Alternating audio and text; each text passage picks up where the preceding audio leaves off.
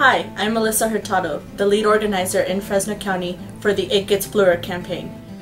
I got involved with this project because I know that there is many different communities that are underrepresented, in particular in smaller communities such as Sanger, Parlier, Reedley, Selma, and I want to encourage people not only to vote, to register to vote, but also to be involved in the political process and be involved with the California Democratic Party because if a person is not involved, uh, they really don't have a voice.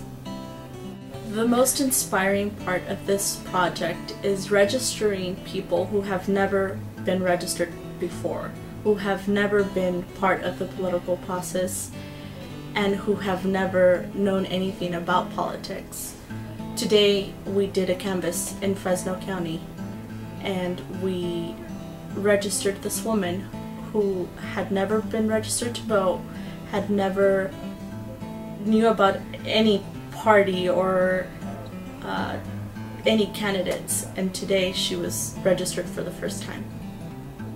And that's what keeps me motivated to continue to strive in this project.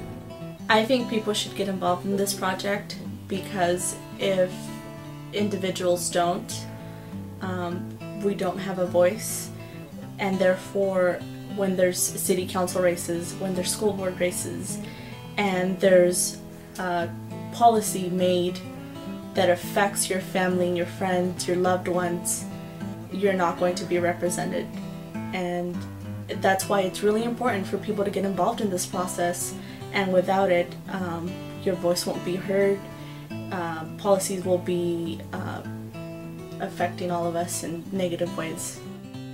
For people who want to get involved and continue to know what's going on, I encourage you to visit www.itgetsbluer.com.